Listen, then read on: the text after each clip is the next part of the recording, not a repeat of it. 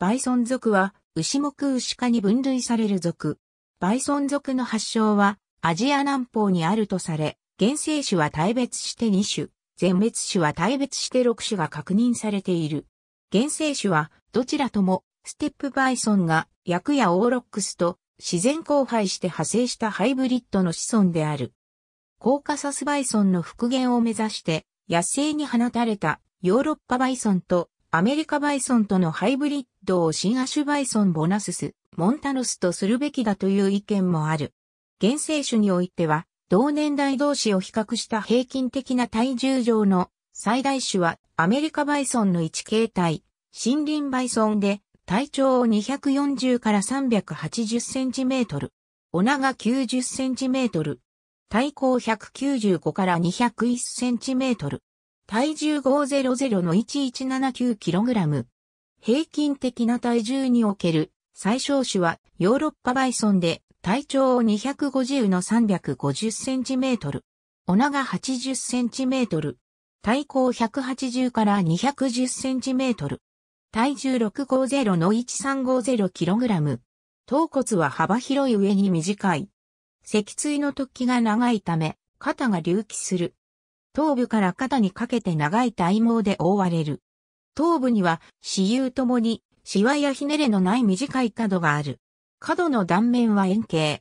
最大の種類は、北米に生息していたジャイアントバイソンであり、体高約2.3から2.5メートル、体長約4.8メートル、体重約1.2から2トン以上、角の差し渡しが約2.2メートルと史上最大の牛科動物の一種であった。森林や草原に生息する10から20頭の群れを形成して生活するが、繁殖期にはより大規模な群れを形成することもある。食性は植物食で草、木の葉、果実などを食べる。繁殖形態は耐性。1回に1頭の幼獣を産む。原生種はアメリカ合衆国、カナダ南部、メキシコ、ヨーロッパ各地、ロシア南西部、サハ共和国に見られる。一方、バイソン族の起源は、オーロックス同様にアジア南方にあるとされ、かつてはユーラシア大陸等の広範囲にいたと思われる。日本列島においては、岩手県の花泉遺跡からは、ステップバイソンに近いと考えられる、花泉森牛が、オーロックスと共に発掘されている。また、栃木県から発掘された大型のバイソン族の化石は、分類が不明だが、発掘された骨格は、瀬戸内海から発見された、バイソンオクシデンタルと似た数値を有している。北海道からは、北広島市及び八雲町から、バイソン族の化石が発掘されている。開発による生息地の破壊、乱獲、家畜との交雑などにより野生下で絶滅、もしくはそれに近い状態まで生息数が激減した。